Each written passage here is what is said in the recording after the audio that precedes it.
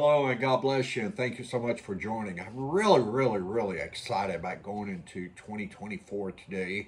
And I'm really excited too about giving this little, my thoughts for the day. And if I had a title for this, I would call it Trading Up.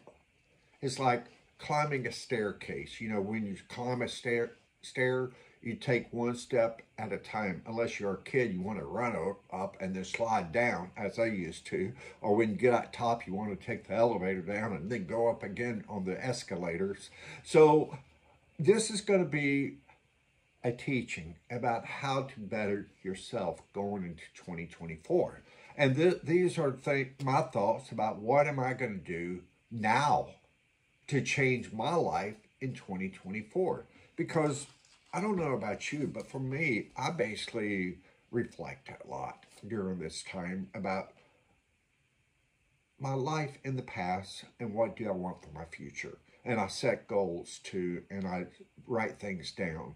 And it's very important to write things down because it's basically gives you clarity on what you want to accomplish. It's like taking a map. If I want to go from Virginia to New York, I'll use a map or I use a GPS to take me there. I just don't just randomly drive and hoping that not knowing where I'm going to get. You have to have clarity to know where you're going in life. And that's what it's all about. If you want to improve your life, you have to know what do I want to improve. Maybe it's the way I dress. Maybe it's where I live. Maybe it's what I drive. Maybe it's I want a better job that will give me a better life, more money. So you need clarity, and that's what trading up is all about. Improving, stepping forward, and making better, make yourself better and making other better by you being better. And Luke chapter 6, verse 38. And here's the step of the all steps that you can take, that I can take too. Give, and it shall be given unto you and unto me. Good measures, pressed down, shaken together, and running over shall man give into your bosom. For with the same measure that you met withal, it shall be measured to you again. So you want more? Give more. If you don't like what you're receiving, guess what? Look at what you're giving. If you don't like your relationships in life, what are you giving to those relationships? What am I giving to those relationships? What am I giving to you now? I always have to ask, what can I do for others? And whatever I give, I always get back, I always get back more than what I gave. So don't be selfish. Don't be selfish. Be, be sharing, be giving, be loving. That's part of loving, you know, giving. Why do you marry? Because basically we have someone to share with.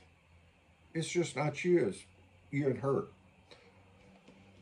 When we plant a seed, I just don't plant a seed to get another seed.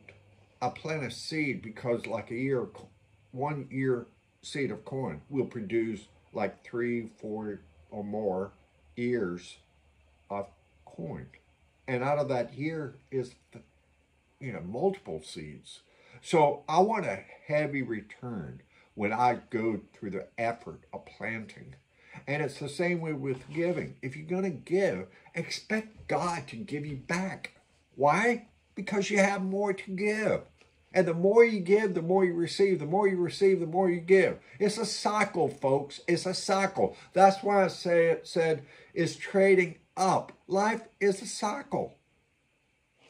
I know what it is to be poor. I know what it is to be rich.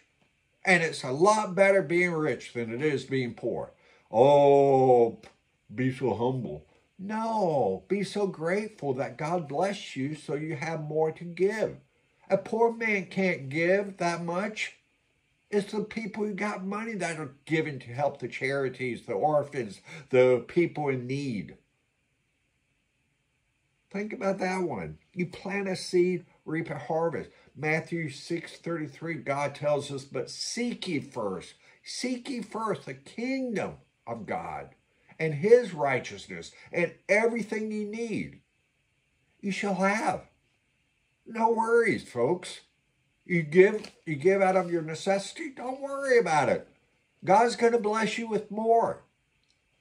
I'm now going through my closet, clearing that out. Going to be giving to charity. Why?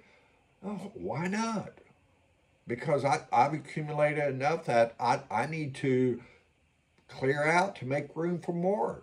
Fashions change, styles change, and, you know, somebody else will be very appreciative of what I'm giving.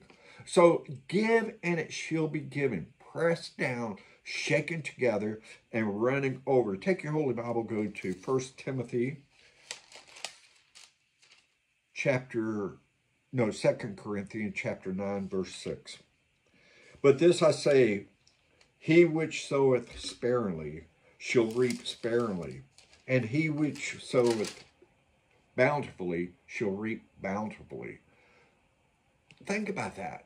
If I am a farmer, or even if I plant a garden, when I plant a garden, I want to have enough to share with my neighbors. Hey, you want some tomato? And good God, homegrown tomato sandwiches with some cheese and some bacon or whatever you want on it. Mm -mm So good. Every, verse 7 Every man as he purposes in his heart, so let him give, not grudgingly or of necessity, for God loveth a cheerful giver. Just give because you love to give. And, you know, in a sense, plant in good grounds. I, I one day asked God, God, I'm giving a lot. Why am I not receiving? Well, um, I wasn't planting on good grounds.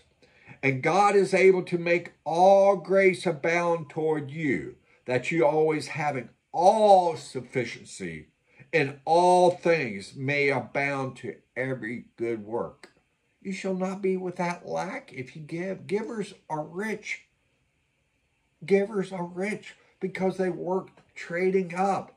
You know, like me, I'm going to go through my closet. I'm going to get rid, give to those that have needs. My clothing that I'm not wearing.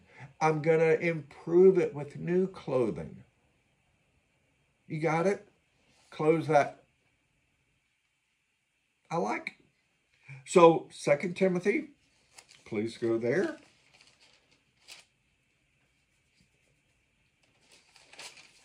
Second Timothy. I want you to think, folks, God is a God that has rooms and if you unlock the, if you have the key to unlock the rooms, you can see the treasures and you can have the treasures. That's the way life is on this earth. If you have the keys, you can unlock doors that will allow you to have prosperity. Second, First Timothy chapter 6, verse 17. Charge them that are rich in this world that they be not high-minded, nor trust in uncertain riches, but in the living God who giveth us richly all things to enjoy. God wants us to enjoy money. He doesn't want us to hoard money. He wants us to be smart with money. He doesn't mind us investing our money. Verse 18, that they do good, that they be rich in good works, ready to distribute, willing to communicate. Be willing to give. God can use you if you have money. There are things I'm doing now which I'm not going to say, but I'm helping other people with my wealth. I'm giving back. I'm giving back. Give back, folks. 3 John 2 tells us that God wants us to prosper. Never think God wants you to be poor. Because a poor man, there's nothing wrong with him.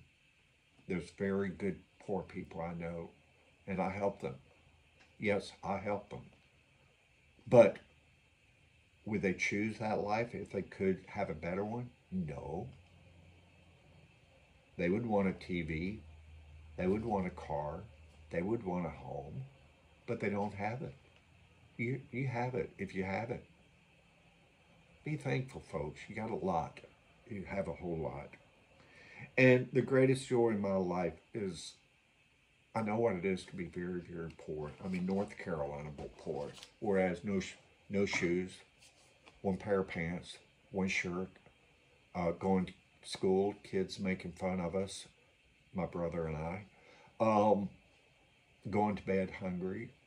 So poor, poor, I know what that is. So I have empathy, not sympathy, empathy. Whereas when I see poor people, I want to help them. I want to make a difference. I want to be the change. I want to be like Jesus. Feed the poor. Feed those in need. Why? Because I know what it is not to have nothing. So my heart reaches out to them. So step up, people, please. Step up. Step up to the game of giving.